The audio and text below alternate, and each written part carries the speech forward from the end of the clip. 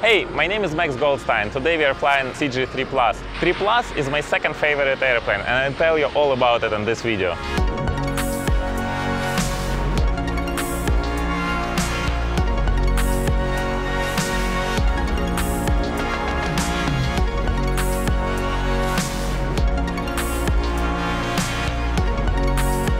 Oftentimes when people choose a jet, they look at the interior size. They look at the top speed. They don't take into account the ease of maintenance and everyday operation. CJ sits very low to the ground. It actually helps uh, during the pre-flight service and uh, you can put it into a smaller hangar. You don't need to disconnect uh, the torque link when the plane is towed, which means pre-flight is going to be much easier and faster. Trailing link landing gear will make every landing a nice one. CJs don't have gear overhaul in 10 years like Phenoms and many other jets.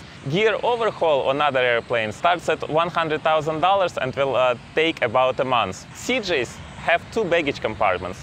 One large one in the back where you can put large suitcases, skis or golf clubs. And you got a smaller one in front. It's very convenient to use it when you fly alone or when you fly with small bags. You just throw in the bags, get inside and go flying. After all, what good does the speed make if pre-flight and all the checks take a long time? You can check the oil through the side glass and stay clean. You can check and service the hydraulic fluid without having to go into a narrow, dirty spot. Checking and servicing nitrogen is easily done through the forward baggage compartment. Williams FJ44 engines produce 2820 pounds of thrust and are fully controlled by FADEC. FADEC will monitor all the parameters and will set the most efficient fuel flow. Airplane that we are flying today is equipped with Tamarack active winglets. Winglets reduce induced drag and increase efficiency. The airplane will actually reach flight level faster and accelerate faster, reducing the fuel burn by about 5%. In CJ3 Plus, when you install winglets, also wingspan increases by about 7 feet. The winglets and increased wingspan redistributes lift closer to the uh, tips, making the wing more efficient. In case of turbulence or maneuvering, when the G load increases, Tamarack active camber surface will move up, reducing the lift and unloading the wing. So there is no need to modify the wing structure. Right? Seven, right? Yeah, by, by both wings. Yeah, seven feet, I told you. Yeah. I told him, I said, wow, this, this is amazing. Because you actually you actually climb a lot faster. Of it climbs course. to 45,000 feet in 25 minutes. Exactly. Better than uh, better than like the bigger jets. When I saw the wingspan, I was like, whoa, Yeah, it's usually it's up to here. right here. And Yeah, so this-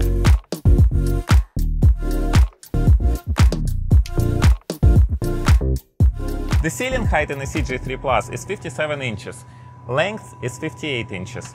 It's not a lot, but most of the time in flight you spend sitting down, relaxing, or doing some work. The seat moves out into the middle of the cabin, so you get more room. You can also recline the seat all the way down into a comfortable sleeping position. There are jet beds available for CJ3 Plus. You can inflate a mattress and have a full flat bed. If you got four adults in the club seating, you can move the seat all the way back and you will have enough room for uh, normal size adults. This aircraft is equipped with two 110 volt outlets and a satellite phone. CJ3 Plus has a toilet. Basically, it's a bucket where you can fill blue water and it will recirculate this water with every flush. A lot of times people just leave it dry and then you have to take it out and carry it through the cabin to empty it. That's why CJ3 Plus Gen 2, which will be delivered starting 2025, has an external serviceable left. You can spend up to five and a half hours in this airplane, so the toilet is gonna be used. In order to save the volume, there is a pilot relief valve installed. You press this valve, and differences in pressure between the pressurized cabin and the outside will suck everything out. It actually works really well. 3 Plus has a uh, coffee pot. To fill it up, you need to take it out. So basically it's a stainless steel tank with a heating element. How much do you think it costs? Let me know in the comments down below. CJs used to have a door closing switch inside the frame. You can feel it with your finger. In 3 Plus, Cessna decided to add another switch under the handle. So everybody is pulling the handle to close the door. The door is closed. We looked at the mechanical indications that the door is locked, but we still have, a door open message. Guess why? Because they put a switch over here, so now you have to press the handle.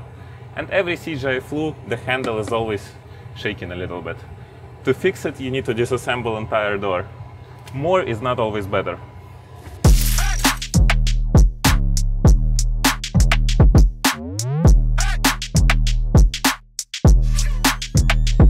When you get into the cockpit of a CJ3 Plus, you can see that it was uh, cleaned up in comparison to the old CJs.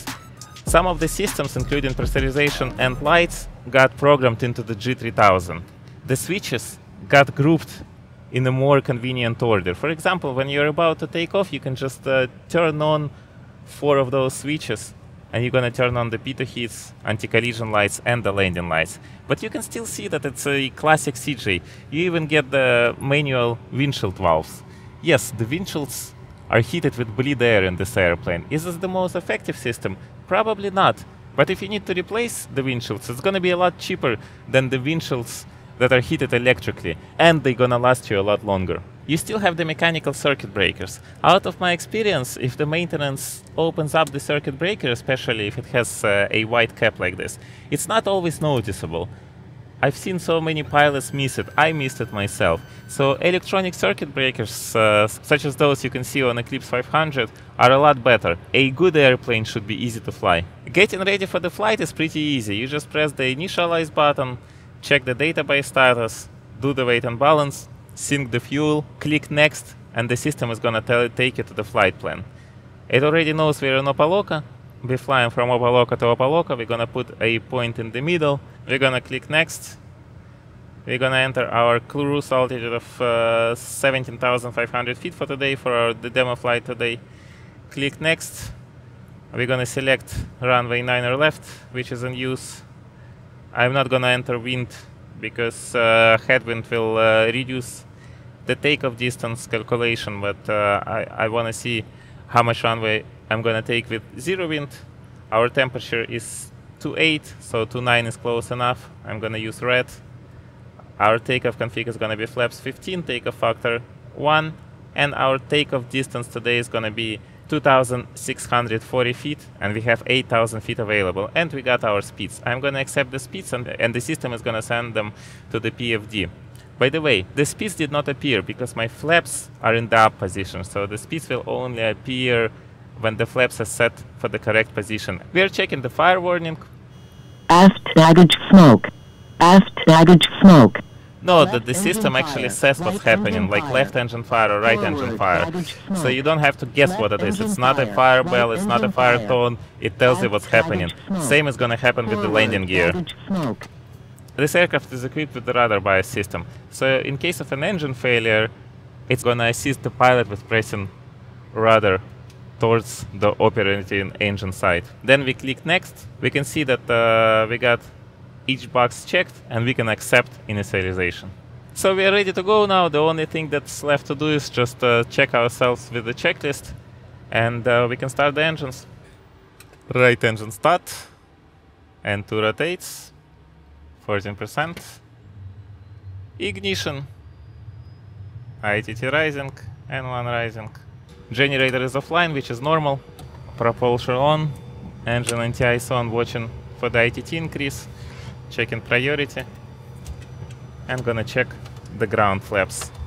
CJ has ground flaps, so when you land, you can put the ground flaps into 55% position, and the speed brakes will also extend. If you do power, it will retract the speed brakes. And as soon as I set the flaps back into 15, the speeds will appear, which means that speeds and flaps are in the same position.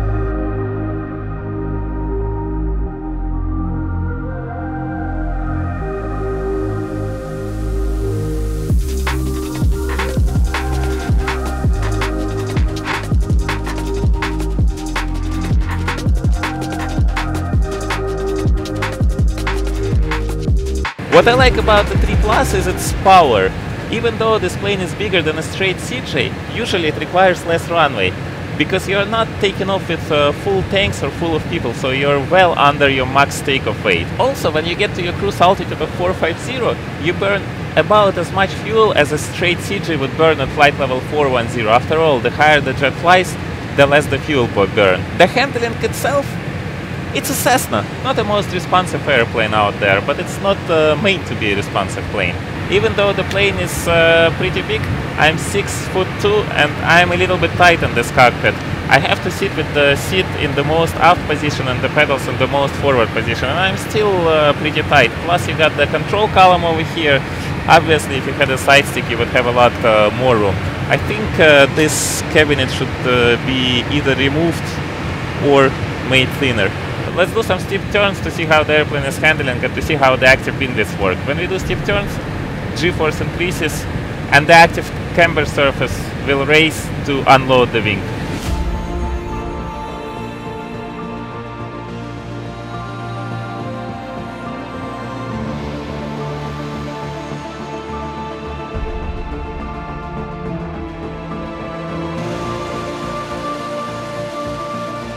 Well, a CJ is a CJ, feels very stretchy on the controls. It's not meant to be a fighter. It's a very good stable IFR machine though. And let's see at what airspeed will this airplane stall. We're actually gonna take it to a full stall just to demonstrate how much winglets make a difference. The airspeed is 85 knots and the plane is still handling well. Now we got the stick shaker. I'm gonna take it to full aerodynamic stall. 79 knots, 78 knots, 76 knots and we get a buffet and the plane goes to, to one minute. Let it accelerate, let the angle of attack decrease, and then we can start pitching up. So the full aerodynamic stall was uh, about 76 knots, almost like a single engine. So why do I like CJ3 Plus so much? Well, first of all, it's a single pilot plane, and if you want to fly yourself, the only option is uh, having a single pilot airplane. Its performance is amazing for a single pilot airplane. You can uh, fly it for five and a half hours. You can do more than 2000 nautical miles. You only need 3000 foot of runway at sea level most of the time. Also, I love the avionics. G3000 has been built with the pilot in mind. Garmin knew what user experience and user interface is. Everything is very readable, the fonts are uh, very readable. You don't need a manual to use this avionics, and I think it should be made this way, because easy and intuitive avionics built for a safer plane, for a safer pilot, for a safer flight. If you want to fly a plane like this, how long is it gonna take? Well, it all depends how you approach your training. If you approach your training correctly from the beginning, it's going to be much easier for you. You can start with the SR-22. If you start with a slower plane, it's going to be a lot harder for you to get used to higher speeds. So the best way, in my opinion, is to start with SR-22, get your private, get some experience, get your instrument rating, fly it a little bit, and then you can move up to something like an Eclipse. You don't need a step in between, you don't need a turboprop and you don't need a piston twin after flying an Eclipse for a couple of years, you can consider something like this. And uh, you're gonna be a safe pilot if you approach training correctly. We're gonna select an approach.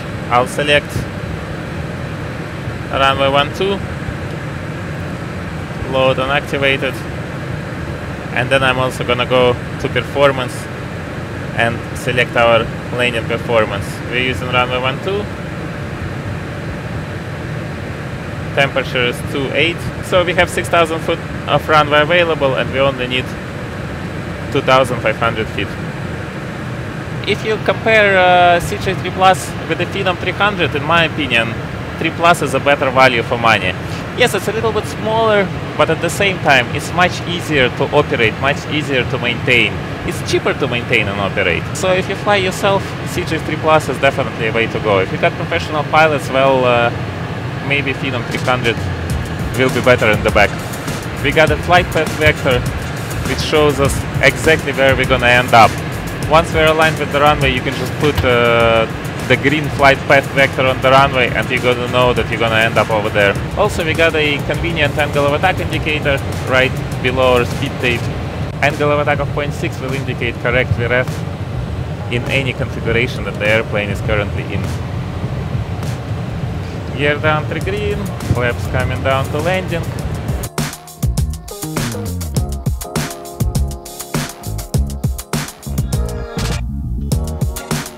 Fifty, forty, thirty, twenty, ten.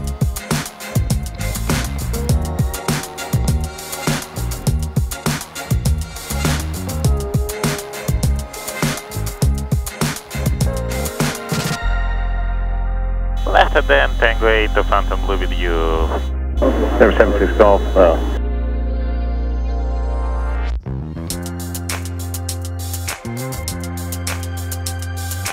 Let me know what you think about CJ3 Plus or Tamarack Windex. Contact me if you have any questions. See you next time.